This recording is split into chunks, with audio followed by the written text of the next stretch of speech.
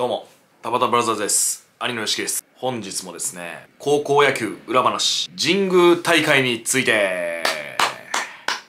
僕はこの動画で神宮大会の予想をするというのは初めてになります。まあなんで今までしてこなかったかというと、めっちゃ重要な試合やのに、特に注目されてないっていうのがまず1点ですね。で、この重要な試合というのは、選手たちにとっては全然重要じゃないんですよ。何のあれにもならないというか。ただ、僕たちみたいなこう予想 YouTuber にとっては見逃してはいけない試合になるんですよね。まあ、なぜかというと、この神宮大会というのは、春の選抜甲子園に出場するのは、ほぼほぼ確実と言われてる高校が出てきます。で、あとは、各ね、地域に分かれてるんで、関東、近畿、北海道とかね、九州とか、そういう各地域に分かれた代表が出てきます。なので、えりすぐりのチームたちが対戦するんで、その県の言うたらレベルも僕は知れるんじゃないかな。その地域のレベル。で、これを僕は結構神宮大会を今回は選抜大会の予想として、えー活用していきたいなと思うんですが、まあ、昨年を見るとね、神宮大会、ここ2年連続で大阪桐蔭が優勝しております。だから大阪桐蔭今回も神宮大会出てますけども、3連覇かけた戦いなんですよ。もちろん史上初やと思いますね。はい、こちら、田畑ブラザーズオーダースーツでございます。今年の秋冬のトレンド、グレーとレッドです。皆さん覚えておいてくださいね。で、こちらの裏地がちょっと派手に遊びまして、そしてグレーとレッドということやったんで、僕はこちらの裏地、ワインレッドにしました。みんなもね、かっこいいスーツ着て、いろんなとこ行ってください。タバタブラザーズオーダースーツ、ぜひ秋冬モデル、検討お願いします。こちら、タバタブラザーズオーダーユニフォームでございます。ぜひ皆さん、概要欄から LINE 登録して見積もり発注よろしくお願いします。去年のベスト4からいきましょうか。優勝が大阪桐蔭、準優勝が広陵、ベスト4仙台育英と北陸でしたね。2年連続優勝準優勝が大阪桐蔭と広陵なんですよ。もう傾向出てるんじゃないかなと思います。神宮強いけど、まあ春の選抜まではまあ両方とも僕は強いかなと思って見ていいんじゃないかなと思いますね。まあこれは本当にもうチームの土台やろね。っていうか、なんかそういう早伸びというか、チームとしての早伸びね。選手としては、あの、万世というか、全然活躍する余地はあると思うんやけど、チーム力のピークが、僕はこの2チームは、最近の傾向を見ると、春の選抜がピークなんじゃないかなって思ったりもしてます。大阪桐蔭、広陵、両方神宮大会に今年も出てるということで、えーちょっとね、予想の方していきたいんですけども、えーと、まず代表校としましては、えトーナメント表の上から読ませていただきます。関東から作新学院、北海道から北海、え近畿から大阪桐蔭、九州から熊本国府、東京から関東一高、北信越から星稜、中国から広陵、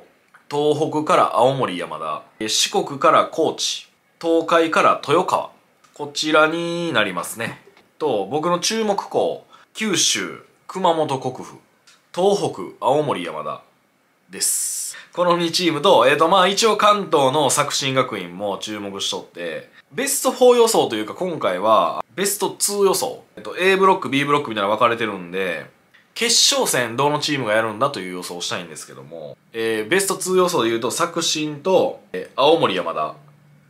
にしたいなと思います。で、まあそれの理由をね、今から話していくんですけども、チーム的に見ても、やっぱり夏の甲子園出てて、ここにも出てこれてるチームっていうのは、僕からしたらね、すっごい評価高いんで、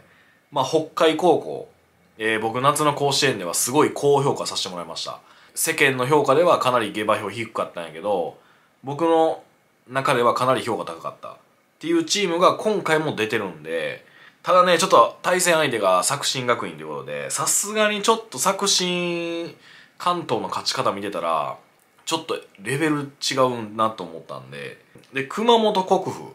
見た時に、どこやねんみたいな、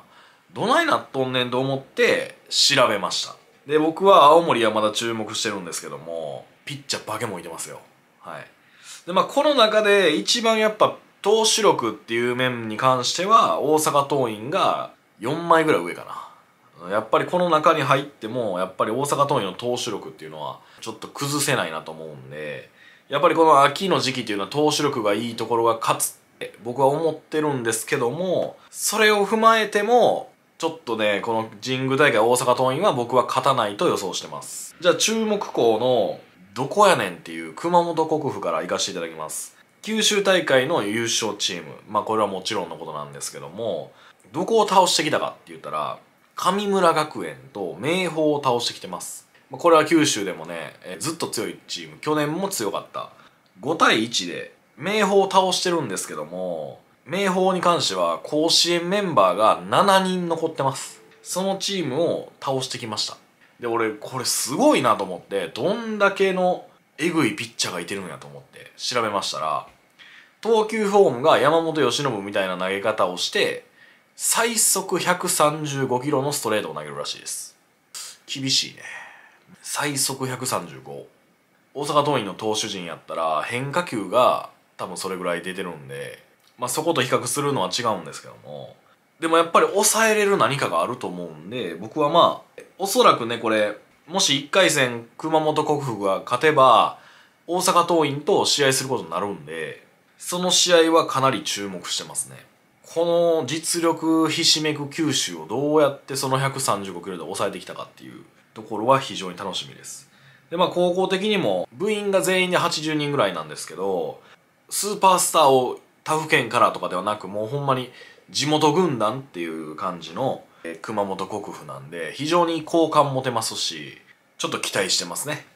注目校が2校目青森山田。えっ、ー、とこれね東北大会決勝で八戸学院光星にノーヒットノーランしてます。ちょっと化け物です。これは まあ大阪桐蔭4枚ぐらい投手力上ですって言ったけどももう完成度としては僕青森山田っぽいんでね、うん、多分決勝まで行くんじゃないですかね。まあ勝っても意味のない大会だからえー、もしかしたらピッチャーを温存するっていう選択を取るかもしれません。そのあまりね投げすぎてこう情報を与えたくないみたいなあると思うんでただ僕かなり高評価してますよ。決勝だけノーヒットノーラン。だからたまたまやんけと思って僕もね。さすがに八戸学院構成で皆さん知ってますよね。どちらかというと打撃力が売りなんですよ。どんな世代でも打撃が強くて甲子園出てくるチームなんですけどノーヒットノーランしててたまたまちゃんと思って準決勝見たらえ準決勝2安打完封勝ちしてるんですよ。で八戸学院合成もほな弱いんちゃうんかってなるんですけど、えー、まあ、バッティングは確かに例年に比べると落ちるかもしれないんですけど左エースの新井ダライ投手エースが残っててこちらもね東北大会準決勝学法石川に1安打完封勝ちしとってみたいな。これこの東北大会はかなりハイレベルやったんじゃないかなって。その中でのノーヒットノーラン。はめちゃくちゃ評価してますね。で青森山田もそのピッチャー1人じゃなくて2人いてて2人ともまあまあめちゃくちゃいいという感じなので注目してますし僕は勝ち残れるんじゃないかなと思って見てますけどね。でまああとは広陵がね、えー、中国代表してきたんですけどもちょっとねこれね、まあ、この動画で言うのはちょっと違うんですけども、えー、広陵と中国大会決勝でやった創志学園2対1で広陵が勝ったんですけどもちょっとね創志学園はめちゃくちゃ注目してます。やっぱりねその相模の門馬監督が、えー、創志学園に行かれて何年か2年3年ぐらいしてから甲子園今回出場するんですけどやっぱり監督なよな。なんやかんやその選手集めとかもあるんやろうけど結局は僕は土台作りやと思ってるんで結局監督なんよ。出るか出えへんか。その高校生を甲子園に導くかどうかっていうのはねっていうのが僕はやっぱ創志学園がようやく来たかっていう感じのね目で見ててまあ今回は広陵が中国代表で出てきますけどまあ、広陵もね、もちろんね、その2年連続準優勝、神宮でしてますから、秋から春は強いんじゃないかなって思って見てますよ。広陵と大阪桐蔭はね。えっと、まあ、触れてないとこで言うと、高知が四国大会ね、優勝してこられてて。確か決勝が明徳やったんですよね。高知対決になって。まあめちゃくちゃ接戦やったんですけど。2対1かなんかでね。まあどうなんかな。ちょっと四国のレベルがって思っちゃう部分があるんで僕はちょっと評価下げましたね。そんなに高くないんじゃないかなと思ってます。豊川東海代表、えー、全く見てません。ここはちょっと本当に申し訳ないです。全く見てないんで、えー、東海地区の皆さんほんまにすいません。まあまあ負けるでしょ。